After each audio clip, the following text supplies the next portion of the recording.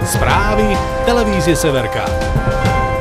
Po dvoch protikorupčných pochodoch z minulého týždňa v Bratislave a v Košiciach sa v pondelok konali ďalšie dva pochody v krajských mestách Prešove a v Žiline. Pôvodné odhady žilinských organizátorov hovorili o približne tisícke účastníkov.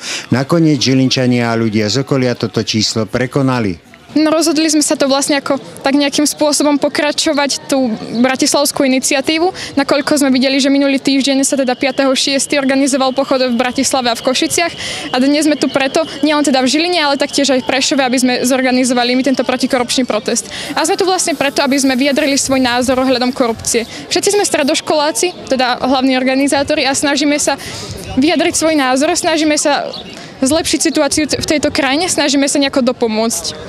Aj počas protestu v Žiline zbierali študenti podpisy pod petíciu, ktorá zahrňa návrhy na odvolanie ministra vnútra Roberta Kaliňáka, odchod špeciálneho prokurátora Dušana Kováčika a možnosť pre členov petičného výboru vystúpiť v parlamente. Momentálne sa zbierajú podpisy na petície po celom Slovensku. K dnešnému dňu sa hlási 40 tisíc podpisov už pozbieraných. Dneska očakávame, že môžeme vyzbierať ďalšiu tisícku.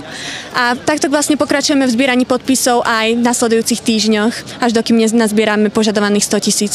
Podľa organizátorov pochodu bol tento protest apolitický a nestranícky, bez podpory politických strán, založený čisto z iniciatívy študentov stredných škôl. Ich cieľom je poukázať na to, že ľudia si uvedomujú kritickú situáciu, v ktorej sa podľa nich momentálne Slovensko nachádza.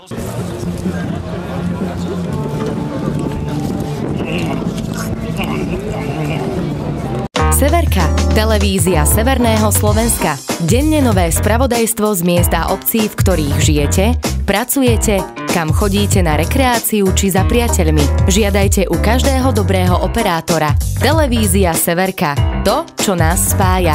Viac informácií na www.severka.tv.